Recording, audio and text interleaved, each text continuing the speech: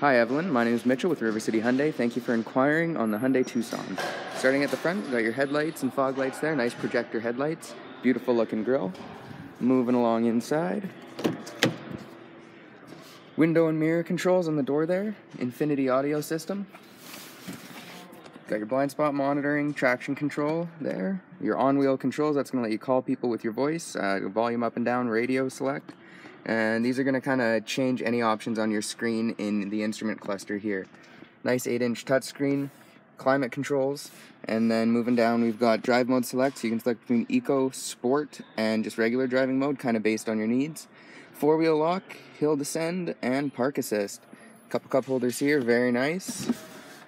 Plenty of storage in here.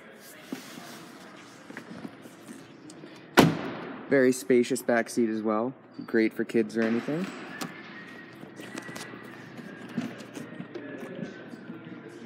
And yeah, thank you for inquiring on the 2018 Hyundai Tucson.